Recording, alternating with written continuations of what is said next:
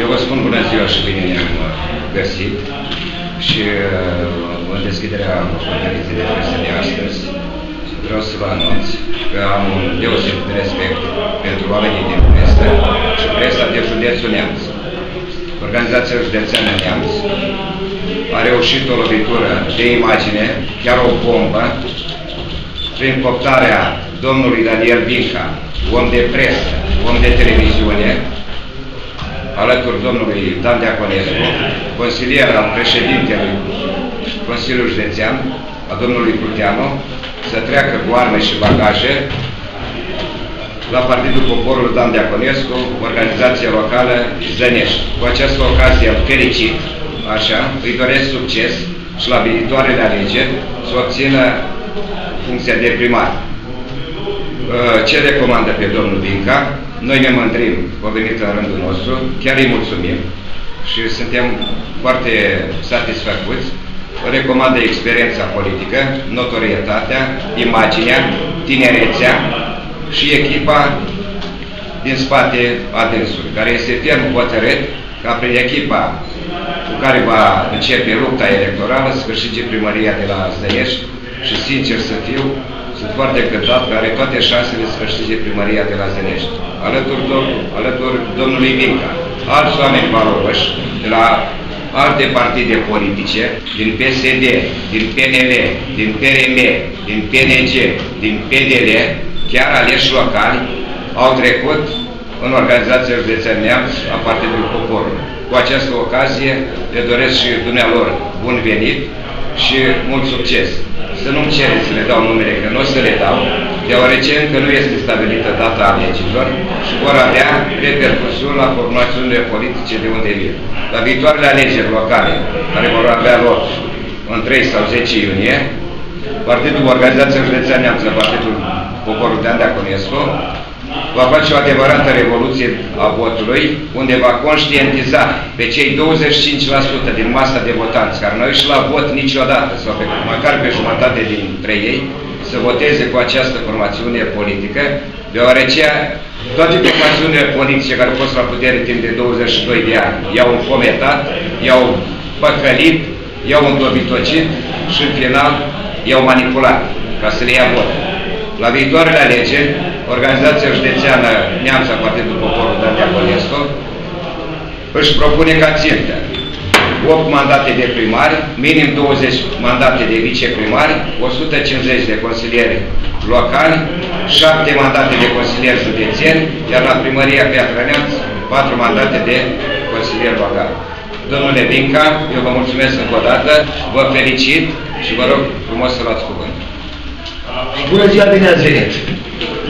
Noi ne-am văzut atâtea ori în diverse postaze, sunteți colegii mei și așa se întâmplă când mă duci cu colegii la o chestiune oficială, parcă ai și puține emoții. Poate din nativă, dar se întâmplă. Împreună cu ceea ce noi, organizații Mazănești, care la început a funcționat în principiu de echipă, asociații civică, cunoscută deja sub brandul Daniel Dinca Prozănești, echipa Prozănești, care dorește o schimbare reală în localitatea noastră, am hotărât să ne înscriem în Partidul Poporului. De ce Partidul Poporului? Pentru că ceea ce propune în general acest partid la se suprapune de minune, pentru că vorbim de, de una din cele mai vitregite localități din județul Neamț, Zănești împreună cu alte două localități fac parte din origentele administrației publice județene care în ultimul mandat, în ultimul patru ani, nu au adus nici un leu guvernamental sau european pe un proiect atât de necesar în comună și este singura care a reușit această tristă performanță în ultimii ani. Domnul președinte Făcășanu spunea mai devreme de target la nivel județean de cele 8 primării. Eu îi dau o veste bună astăzi aici, dar acum trebuie să ne capacităm în general pe șapte primării, pentru că eu, cu echipa pe care am în spate, cu munca pe care am făcut-o în Zănești de peste un an și ceva, consider, domnule președinte, că la Zănești, fără să ne putem pe ureche, primăria va fi câștigată cu certitudine. Certitudinea aceasta derivă, repet, în campania adusă loc de peste un an și ceva, din noiembrie 2010, noi am început să ne facem treaba, pentru că electoratul are dreptate când întreabă cu un candidat care îi bate foarte fix în campania electorală. Dar unde a fost până acum? Nu am făcut pomene electorale în zone, ci acțiuni cu impact la populație și care aveau tematici diferite, de la cultural, sportiv, civic, ecologic chiar. Am avut bucuria ca și în cadrul acțiunii Lezduit România să avem secțiunea Lezduit Neamț, Lezduit Zănești. Ar fi multe de spus, dar cred că întrebările dumneavoastră ne vor ajuta să vă dăm răspunsurile și informațiile pe care le doriți. Și înainte de a încheia, vreau să precizez că lângă mine se află o parte din staff echipei Prozănești de venită de astăzi, filiala Zănești a PPDD, Partidului Poporului Dan Diaconescu, și luându-i de la dreapta la stânga, așa doar să menționez, este domnul Marius Apestri, domnul Dan Deacu, domnul Paul Munteanu, domnul Nelu Dumitriu, oameni serioși, oameni cu o bogată experiență de viață în spate, deși sunt tineri, să știți că sunt oameni care au realizat ceva în această viață și nu au venit în cadrul acestei echipe pentru, știu eu, să obțină nu știu ce favoare de pe zi Ei au venit pentru că sunt toți conștienți, ca și mine, că în Rănești trebuie schimbat ceva din temelii și chiar uh, glumind pe când hai de necaz, spuneam odată că o administrație nouă pe care o face noi în Rănești, n-are cum să nu fie mai bun decât ceea ce este azi, pentru că ceea ce este azi este jar. La întrebarea clasică, domnule, dar cum vei face tu dacă ceilalți n-au putut? Eu am un răspuns foarte simplu. Zăneștiu, fel de republică, dacă vedeți din punct de vedere juridic, am făcut de numit anomalist acolo, are vecini și are vecini de sori, ca și administrații locale. Aș putea menționa așa în fugă, Săvinești, Roznov, Rebiu, Gândești, Podoleni, Costișa, Mărgineni. Ei bine, toate aceste localități, în ultimii patru ani, ca să nu mă duc foarte mult înapoi, au ajuns proiecte. 322, de 105 miliarde de lei vechi, de 10 km de asfalt, reabilitări cămini de culturale, grădinițe și așa mai departe. În Zănești nu s-a Au ajuns proiecte pe parc. În Zănești nu s-a ajuns. S-a ajuns în Zănești, care avea un teren de sport din Vitu, acum să nu poți juca pentru că pericolul de accidentare e foarte mare, pentru că Vitu a devenit cu globiș. Tot la Zănești a fost trista situație în care, în timp ce toată țara românească pe pământ se punea asfalt, la Zănești, un drum fost de asfalt și, și găurit, acum câțiva ani s-a pus pământ. Noroc a venit Consiliul Județean, e vorba de drumul Zănești Traian, și la rezolvat acum câțiva ani, a început investiția acolo domnul Bala Marcoș și a continuat-o domnul Vasile Putea. Pentru Consiliul Județean prin cei doi șefi care i-a avut în ultimul timp. Eu cred că zăneștenii merită o șansă care să se refere la dezvoltarea infrastructurii, modernizarea ei, merită o șansă în reașezarea unor parteneriate reale și corecte, atât public-privat, care permite dezvoltarea de investiții, dar și parteneriate între primărie și biserică, știu eu, puțin tematica social-pastoral, dar mai ales social. Pentru că îndănește energii foarte multe să. Un sondaj făcut de noi, la un moment dat, apropo de gradul de respect pe care l-au anumite instituții sau entități din zonă în fața cetățenilor, a reliefat faptul că zăneștenii iubesc foarte mult oamenii și posibilitățile lor de acolo. Pentru că în rest nu prea puteau iubi nici primăria, nici poliția, nici alte instituții de acest gen care, din păcate, în comuna noastră, sunt datoare, ca să nu spun eu mai mult. În toată această perioadă, mulți dintre dumneavoastră m-ați întrebat în controlul ei, dar cei la Zănești, dar uh, am auzit diverse subiecte. Și o să vedeți că când veniți la de presă, eu nu o să vorbesc despre trista moștenire. Din două motive. Una, că ar trebui să discutăm până dimineață.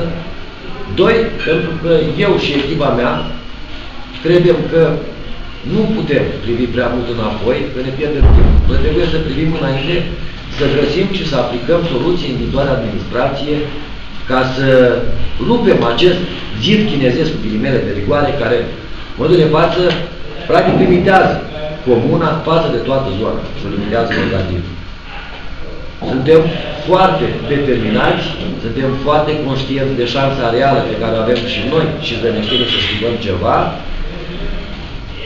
Eu sunt convins și tovarășii mei de drum la fel, că cel mai mare adversar al nostru nu sunt contra adversar. Nu. Noi. Noi dacă ne facem treaba în Zănești, câștigăm un target lejer de peste 60%. Și ne-o facem. Că de asta ne aflăm în fața dumneavoastră. Noi astăzi aici, în fața dumneavoastră, practic nu deschidem bătălia pentru Zănești. Acest front a fost deschis, repet, din noiembrie 2010. Noi astăzi suntem aici să vă spunem că bătălia pentru Zănești continuă și vom învinge. Vă mulțumesc. Întrebări pentru domnul președinte, pentru noi.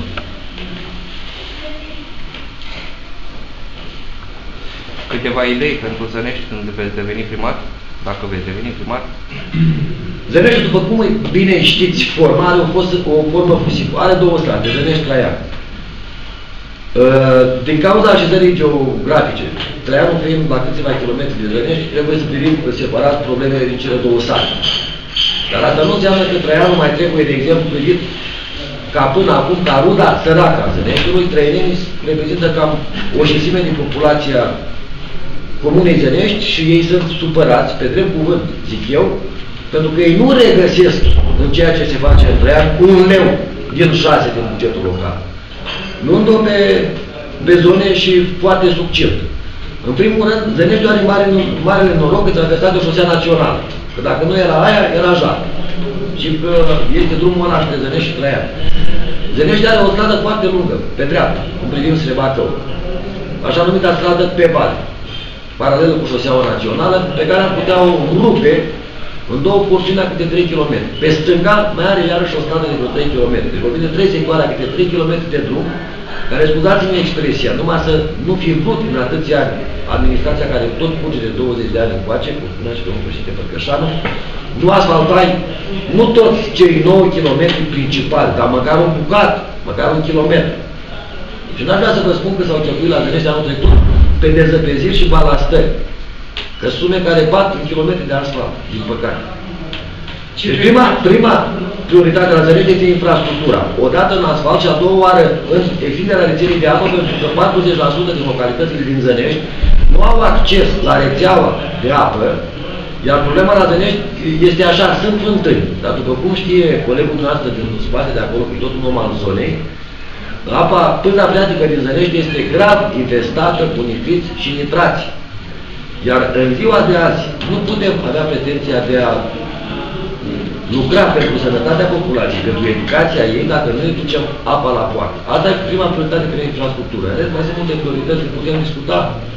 Ce vei face cu atribuțiile pe care le-ai avut de față, sau le ai de față? Una de comunicator la PDD și a doua de purtător de cuvânt la Consiliul de Țară. După cum bine știți, am lucrat pe zona de comunicare de la PDL. N-am fost principalul comunicator acolo la PDL, conform organizării interne. De asta am spus atribuții. Principalul purtător de căput este chiar președintele uh, filialei județene, Neamț, domnul Ștefan. Eu ajutam ca și specialist, pe zona de consultant.